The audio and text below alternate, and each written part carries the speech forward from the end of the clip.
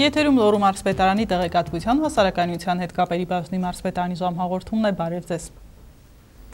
Նոյեմբերի 4-ին Արթուր Նալբանդյանն անցկացրել է հերթական աշխատանքային խորհրդակցությունը։ Նալբանդյանը տեղեկացրել է, որ փողվարչապետ տարածքային կառավարման նախարար Արմեն Գևորքյանի գլխավորությամբ արտակարգ իրավիճակների նախարարությունում օրերս տեղի ունեցել խորհրդակցություն։ Արմեն Երիցյանի գլխավորությամբ շրջայց է կատարվել արտակարգ իրավիճակների նախարարությունում, մասնավորապես այցելել են հրդեհային և տեխնիկական անվտանգության տեսչություն, արտակարգ իրավիճակների նախարարության պոլիկլինիկա, եղել ժամանակակից սարքավորումներով ու ծրագրերով հայգեցած ճգնաժամային կառավարման կենտրոնում և 911 ծառայությունում, ծանոթացել պայմաններին ու աշխատանքի սկզբունքներին։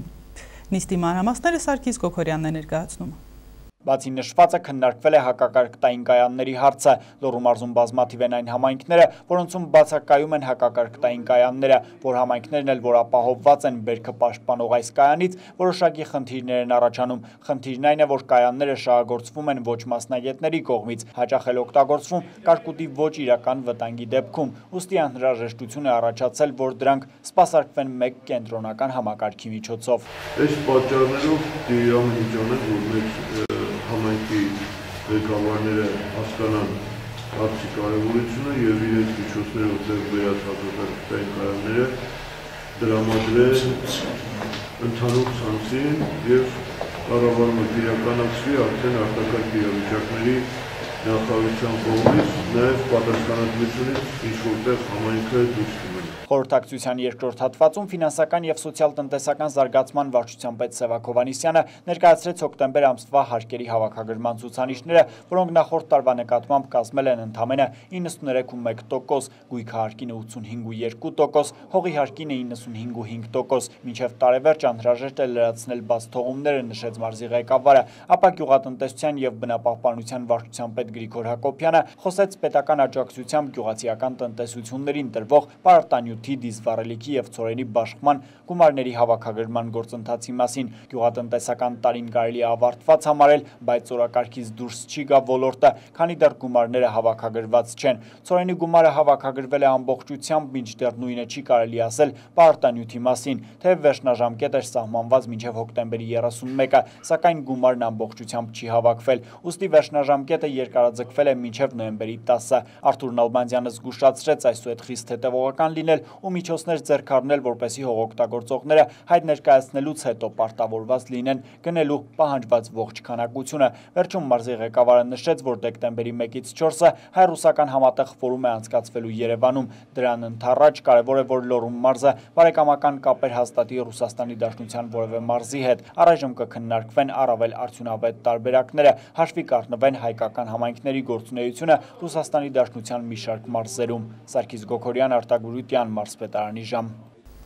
Նոյեմբերի 7-ին Լոռու մարսպետարանի դահլիճում քաղաքացիների ընդունելություն էր, որն անցկացրեց Լոռու մարսպետ Արթուր Նալբանդյանը։ Ներկային նաև մարսպետարանի աշխատակազմի առողջապահության ու սոցիալական ապահովության վարչության պետ Սամվել Լամբարյանը, հողաշինության եւ հողօգտագործման բաժնի պետ Արտակ Օհանյանը, քաղաքաշինության վարչության ճարտարապետական բաժնի պետ Վալերի Անտոնյանը, մարսպետի օգնականներ Արման Սարգսյանն ու Տիգրան Էվինյանը, ովքեր մասնակցեցին քաղաքացիների հարցադրումների քննարկմանը։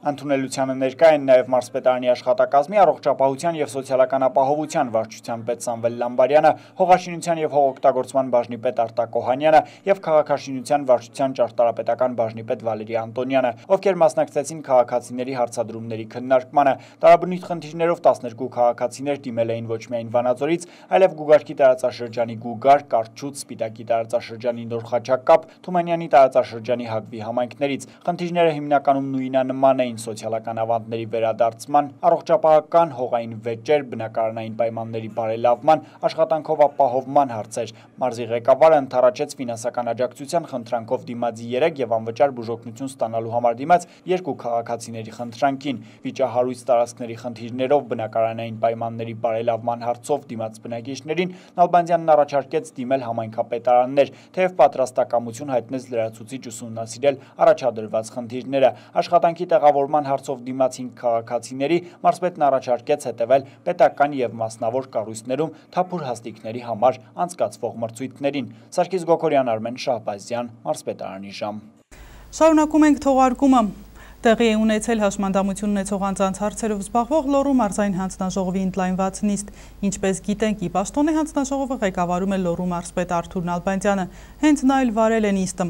Առաջին հատվածում հանձնաժողովի քարտուղար Լոռու մարզպետարանի առողջապահության եւ սոցիալական ապահովության վարչության սոցիալական բաժնի պետ Վալերի Ջաղինյանը համառոտ ներկայացրել է հաշմանդամություն ունեցող անձանց հարցերով զբաղվող ազգային հանձնաժողովի նիստում քննարկված հարցերը ապա հաշմանդամություն ունեցող անձանց խնդիրներով զբաղվող հասարակական կազմակերպությունները, ինչպես նաև հաշմանդամություն ունեցող անձանց ուղված տարաբնույթ ծրագրեր իրականացնող կազմակերպությունները ներկայացրել են այս տարվա 10 ամիսների ընթացքում իրականացված աշխատանքները։ Նշված ժամանակահատվածում Լոռու մարզում միջավայրի մատչելությանն ուղված աշխատանքների, ինչպես նաև հաշմանդամություն ունեցող անձանց տրամադրված գույքի եւ վերականգնողական պարագաների վերաբերյալ տեղեկություններ է ներկայացրել Լոռու մարզպետարանի առողջապահության եւ սոցիալական ապահովության սոցիալական բաժնի առաջատար մասնա մասնագետ Գայանե Բոջուկյանը։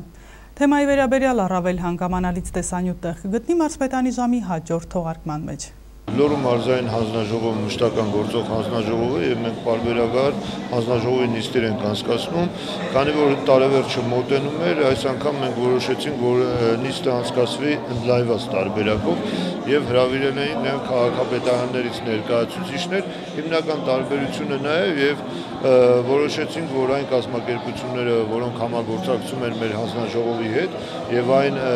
հանձնաժողովի անդամները, ովքեր որոշակի ծրագրեր են իրականացնում այս հանձնաժողովի գործառույթների մեջ, որոշեցինք, որ բոլորին հնարավորություն տանք արտահայտվելու իրենց տեղեկատվությունները ներկայացնելու։ Արդեն շուրջ 16 տարի Լոռու մարզը համագործակցում է Ֆրանսիայի Պրովանս Ալպ Կոտ դազյուր ռեգիոնի հետ։ Այդ համագործակցությունը սկզբում ուղակի քույր մարզերի համագործակցություն էր, իսկ 2008 թվականին երկու մարզերի միջև ստորագրվեց համագործակցության շրջանակային պայմանագիր, ինչի արդյունքում ձեռնարկվեցին լուրջ քայլեր։ Շրջանակային պայմանագրի հիմնական դրույթներից էր այն, որ երկու տարվա պարբերականությամբ երկու մարզերի ղեկավարները հանդիպում են եւ նախանշում հետագա անելիքները։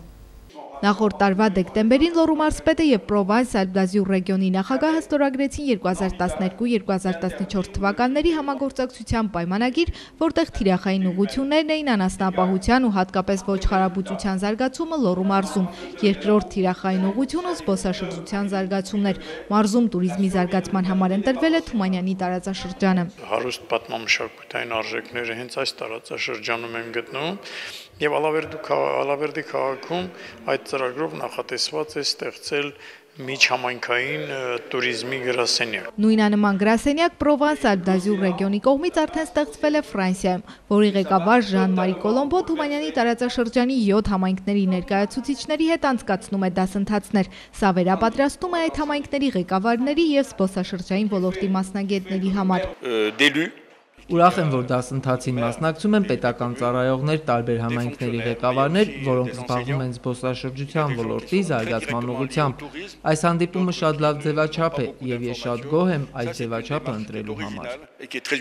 Միջհամայնքային զբոսաշրջային միավորման մեջ ընդգրկված են Ալավերդի, Աղթալա եւ Թումանյան քաղաքները, Արդվի, Օձուն, Հաղպատ, Դսեղ գյուղական համայնքները։ Այս համագործակցության շրջանակում Լոռու մարզպետ Արթուր Նալբանդյանի նախաձեռնությամբ ստեղծվել է Լոռու տուրիզմ հիմնադրամը։ Լոռու մարզ ու հատկապես Թումանյանի տարածաշրջան տարեց տարի ավելանում է զբոսաշրջիկների հոսքը, զարգանում են ենթակառուցվածքները, կառուցվում են նոր հյուրանոցներ ու հյուրատներ։ Սա նշանակում է, որ տնտեսության զարգացումը կապվում է տուրիզմի հետ։ Մենք բավականին լուրջ առաջընթաց կունենանք եւ ակնկալում եմ, որ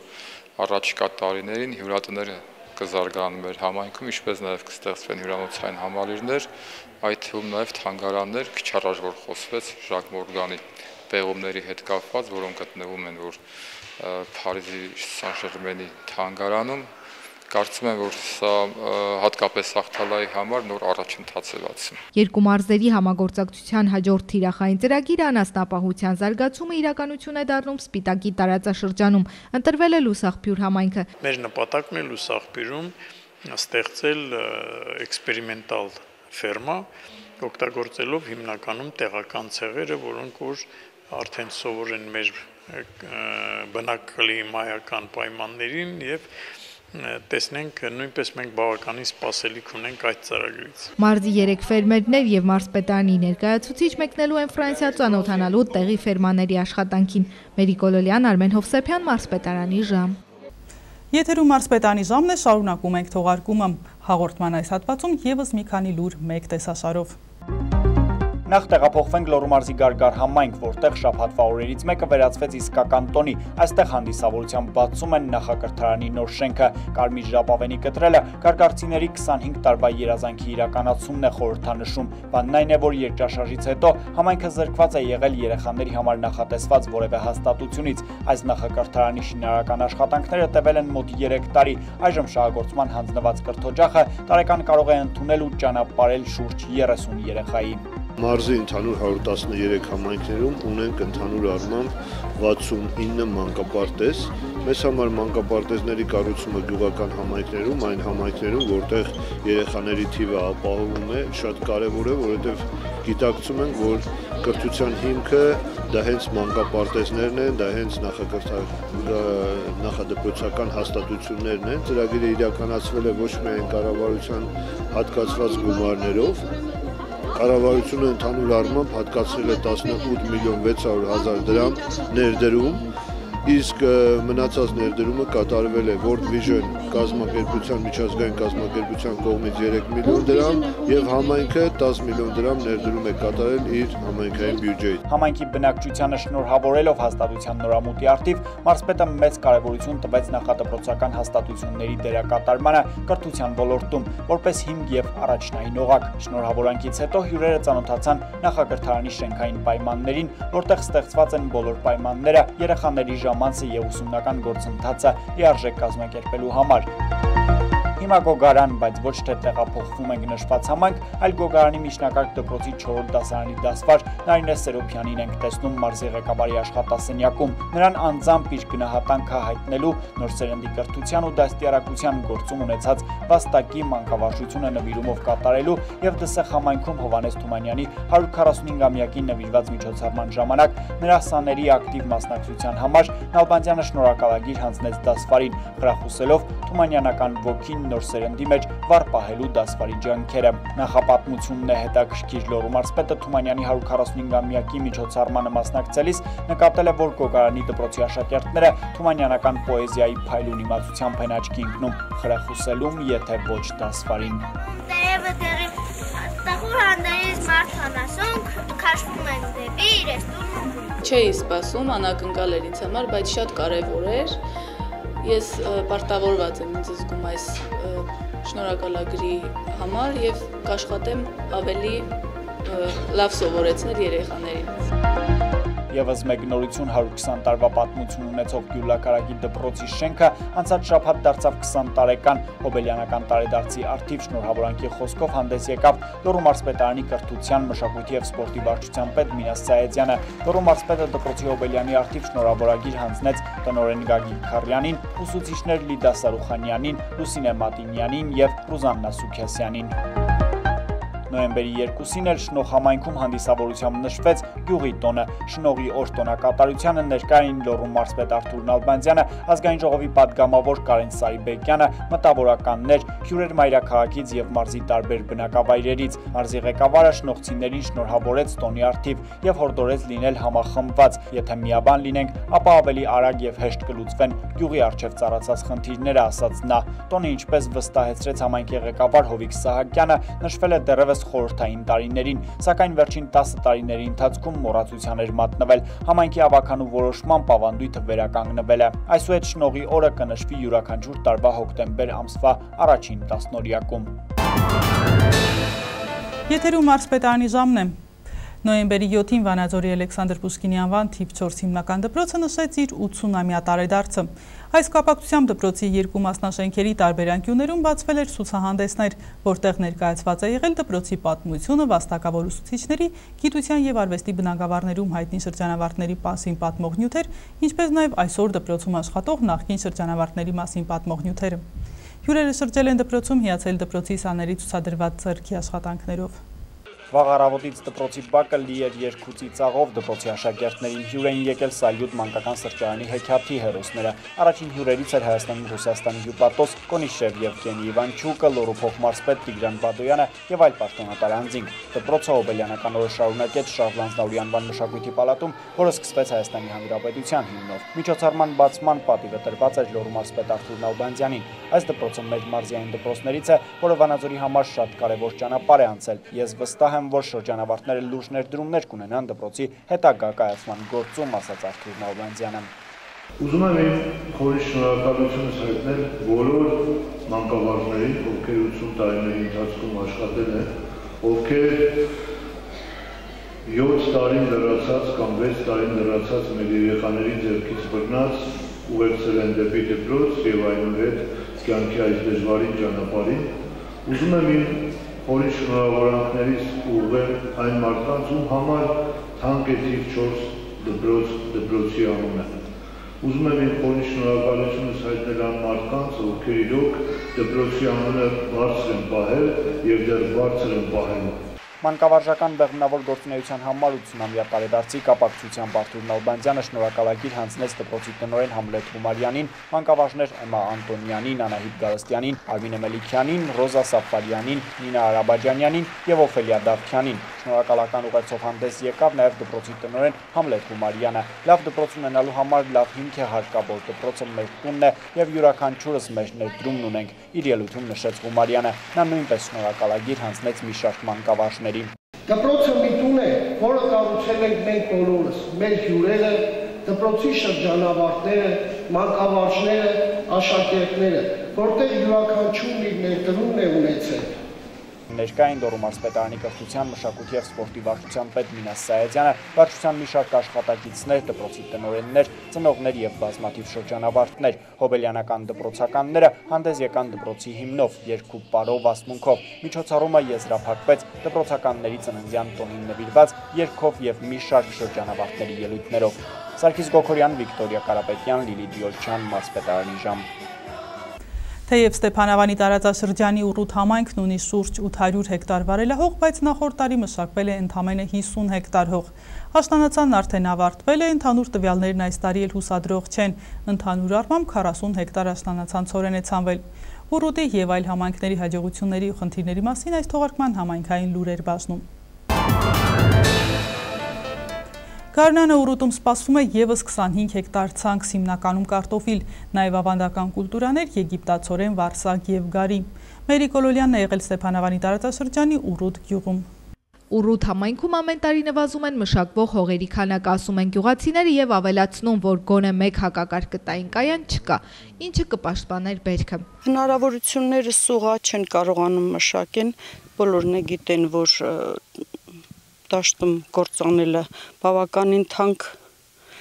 հաճույք է կարելի ասել։ Ուռուտեցիներից շատերը հողի մշակության համար վարկեր են վերցրել ցախողվել, վատ օրինակ ծառայել մյուսներին ու այդպես թողել հողի մշակությունը։ Հողերի մեծ մասն օգտագործվում է որպես խոթարկ։ Ինչքան վարկ վերցնենք, որ տակից է դուրս գանք։ Ֆինանս չկա, որ ասենք հողը վարես, մշակես,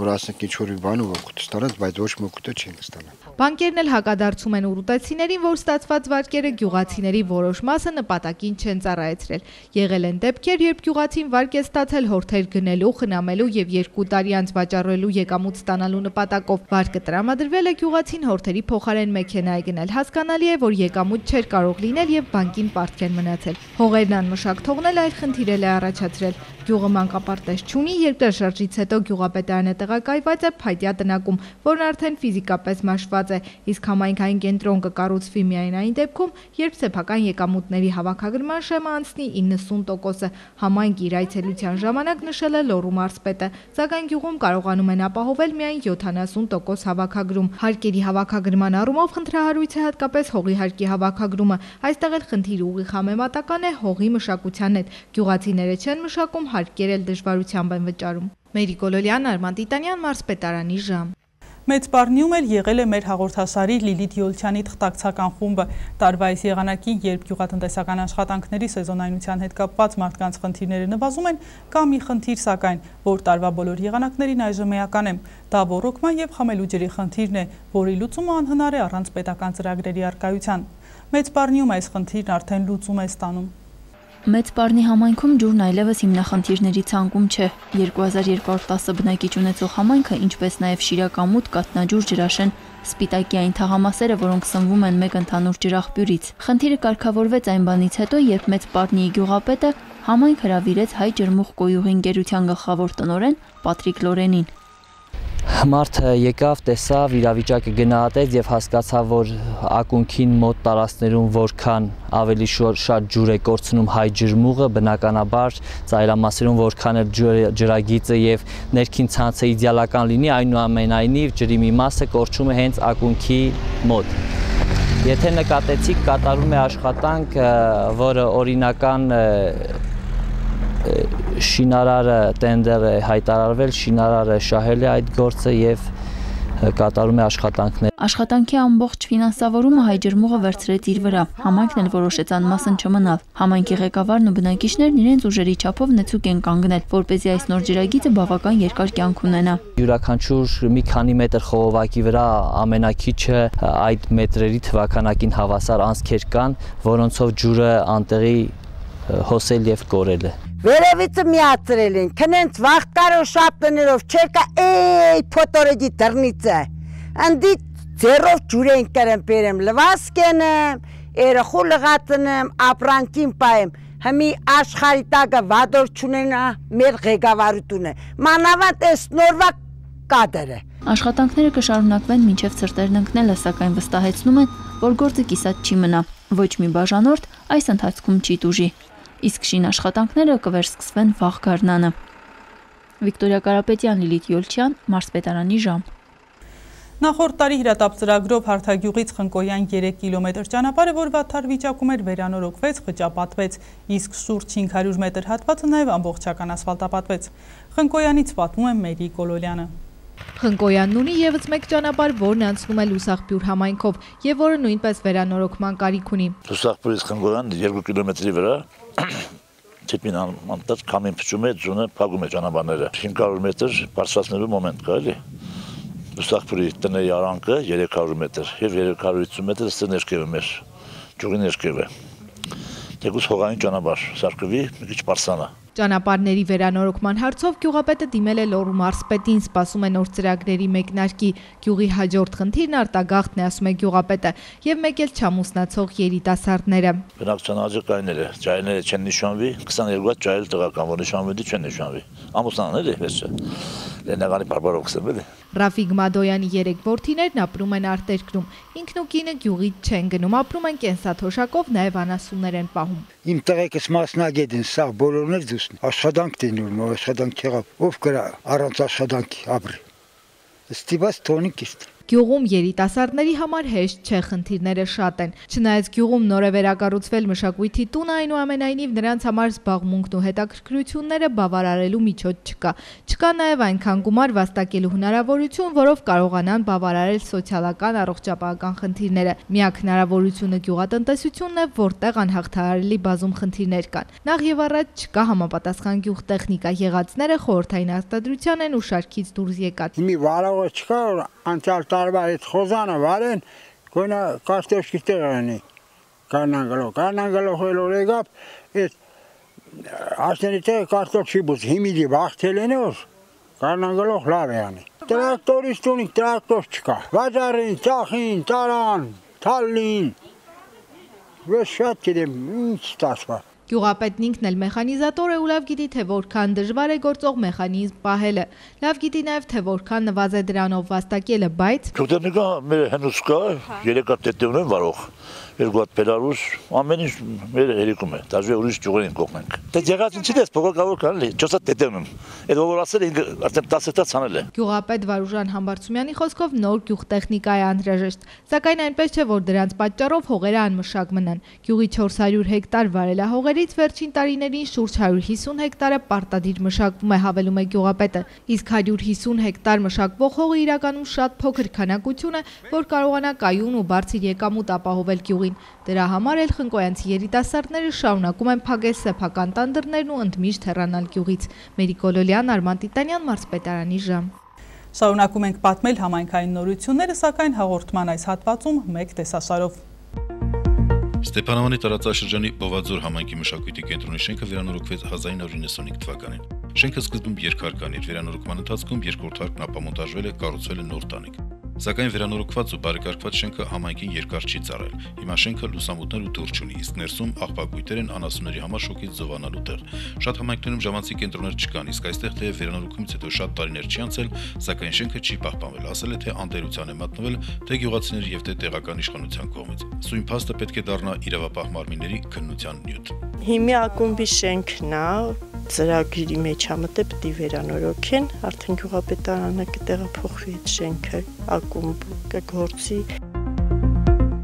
Սպիտակի տարածաշրջանի Ծաղկաբեր գյուղում էլ նախակրթարան չկա։ Թեպետ տղամարդիկ մեկնում են արտագն աշխատանքի, սակայն ընտանիքով տեղափոխվողների քիչ են։ Տարիներ շարունակ գյուղում մանկապարտեզ չի գործում։ Ծաղկաբերում նախորդ տարի 31 ծնունդ է գրանցվել։ Հիմա գյուղում նախադպրոցական տարիքի 29 երեխա կա։ Սակայն գյուղապետարանը միջոցներ չունի մանկապարտեզի նախկին շենքը վերանորոգելու եւ կահավորելու համար։ Վերջերս գյուղ են այցելել բրկեցեք երեխաներին կազմակերպության ներկայացուցիչները, ովքեր խոստացել են աջակցել դպրոցի մեկ սենյակում նախագահթարան բացելուն։ Առաջարկեցի մանկապարտեզի շենքից մեկ սենյակ 50 քառակուսի մետր տարածքով։ Նրանք նախատեսել են դպրոցում լինի, բայց դպրոցում ամենա մեծ սենյակը 36 քառակուսի մետր է, որ իրանց պայմանները չի ապահովում դրանով։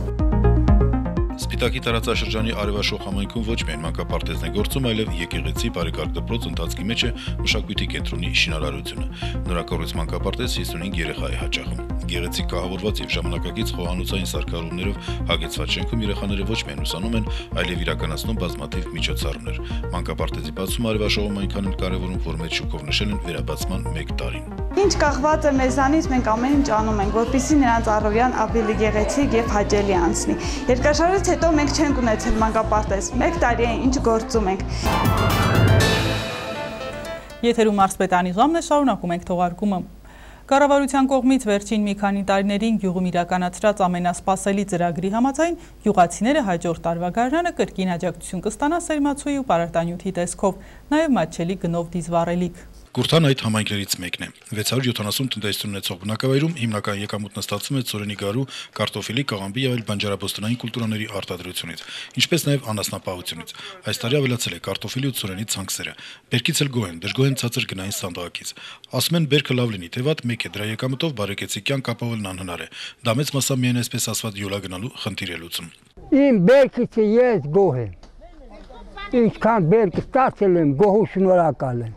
այս հանելուկը չենք կարող հասկանանք թե ինչա։ Միսը բազարում շուկայում 2500 դրամ, տեղում 1700-1800 դրամ։ Այսինքն գյուղացին դուժում է այս արանք։ Բնակիչների դժգոհությունը նաև իրացման դժվարություններից է։ Բերքը քաղաքացիելու համար էլ տրանսպորտային միջոցներ չունեն։ Շատ ժամանակ մնում է տանը փչանում տարվա ողջ աշխատանքը։ Այս պայն 80 տոննա պարտաունտ են բերել գառնանացանի համար։ Ահա բարերիկ տվել են գոհ ենք մենք կառավարությունից, բայց ամեն դեպքում գնից գոհ չենք։ Գինը պետք է կարգավորշու կամ պետք է կարգավորի։ Սիկը ոչ մեկը մեղավոր չի դրանով, որ ասենք մեկին ասենք մեղավորը մեղ չունի, էսա գինը։ Հողի հարկերի հավաքագրումը սակայն բնակիչները պարտաճանաչ վճարում են։ Համայնքի ղեկավարի խոսքով արդեն 90%-ով հավաքագրում է իրականացվել։ Պակասող 10%-ը որպես կանոն այն հողերի հարկերն են, որոնց տերերը երկար տարիներ բացակայում են գյուղից։ Հրաչապապինան Լիլի Դյոլչյան, Մարսպետարանի ժամ։ Մշակութային մեկ անդրադարձ Նոյեմբերի 1-ից 5-ը Մայրաքաղաքում անցկացվեց Ռոլան Բիկով հիմնադրամի նախաձեռնած մանկապատանեկան ֆիլմերի 9-րդ միջազգային փառատոնը։ Փառատոնին ընդհանուր առմամբ ներկայացվել է 113 ֆիլմ 34 երկրից։ Փառատոնի ժյուրիում ընդգրկված են եղել նաև Ալավերդու Շնողի եւ Թեղուտի երեխաները։ Ռոլան Բիկովի անվան մանկապատանեկան ֆիլմերի 9-րդ միջազգային փառատոնը տարբերվեց նախորդներից։ Այս տարի փոփոխվել է ժյուրիի ձևաչափը, որի կազմում ընդգրկվել են Գյումրիի Թրչունյան տուն մանկատան, Հույսի կամուրջ հասարակական կազմակերպության սաները, Թումո ստեղծարար տեխնոլոգիաների կենտրոնի երեխաները, Երևանի 162 դպրոցի Երևա կրթահամալիրի աշակերտները։ Ժյուրիում ընդգրկվել է նաև Ալավերդի, Շնորհ, Թղուտ եւ Շահումյան համայնքների երեխաները։ Ուրախալին այն է, որ այս տարվա փառատոնը անցավ յուրովի։ Մեր պատանիներին եւ աղջիկներին հնարավորություն տրվեց, որ իրենք ինքները դառնան ժյուրիի անդամներ, իրենք կարողանան դատեն թե ինչպեսին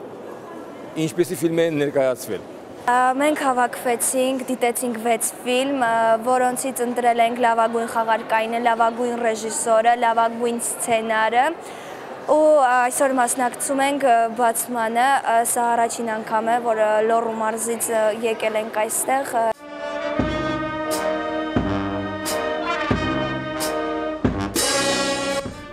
Փառատոնն այս տարի անցկացվեց Հայաստանի Հանրապետության նախագահի եւ մշակույթի նախարարության աջակցությամբ։ Ինչպես նախորդ տարի, այս տարի եւս մանկապատանեկան ֆիլմերի փառատոնի հովանավորների մեջ է նաեւ Վալեքս խումբը։ Շնորհակալություն եմ հայտնում Վալեքս գրուպին հովանավորելու համար փառատոնի աշխատանքները Փառատոնը եզրափակվեց նոյեմբերի 5-ին։ Փառատոնի փակմանը խաղարկային ֆիլմերի անվանակարգում հաղթողի անունը որոշել են Ալավերդու, Սնողի, Թեղուտի եւ Շահունյանի պատանիները։ Ժյուրիի նախագահ Շնող գյուղի դպրոցի աշակերտ Սուրեն Մելիքսեթյանը հնչեցրեց հաղթող ֆիլմի անունը։ Խաղարկային ֆիլմեր անվանակարգի մրցութային ֆիլմեր։ Խաղարկային ֆիլմեր անվանակարգում մանկապատանեկան ժյուրիի լավագույն խաղարկային ֆիլմ մրցանակին է արժանանում ազնիվ պիոներական ֆիլմը։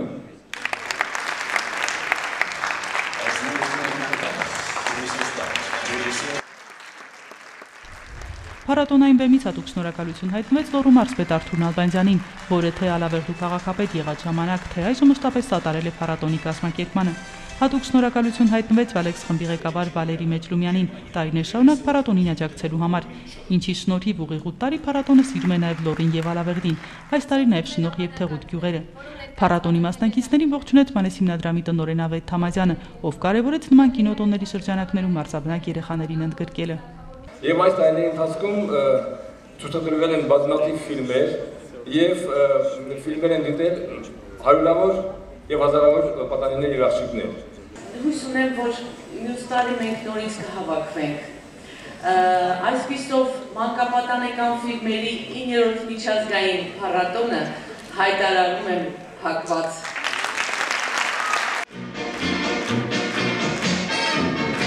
Փակման արարողությունն ուղեկցվեց երաշտական ու պարային կատարումներով։ Տոնական երեկոյի ընթացքում հանդես եկան նաև սահմանափակ կարողություններ ունեցող երեխաները։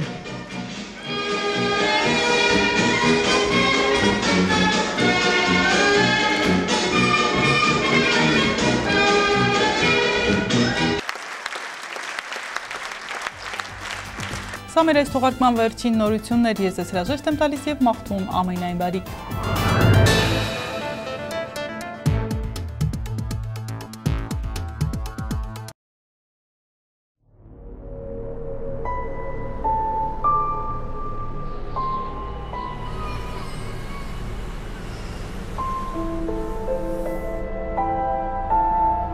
Չկարողանալով գրանցել հարկերի հավաքագրման բարձր տոկոս, համայնքապետարանները ի վիճակի չեն լիարժեքորեն կատարել իրենց պարտականությունները։ Արդյունքում չվճարելով հարկերը, հարկատուները կորցնում են ավելի շատ։ Պատկերը կլինի հակառակը, եթե վճարեք գույքահարկը եւ հողի հարկը։ Վճարելով հարկերը, դուք տալիս եք ձեր երեխաներին հետաքրքիր եւ գունեղ մանկություն ունենալու հնարավորություն։.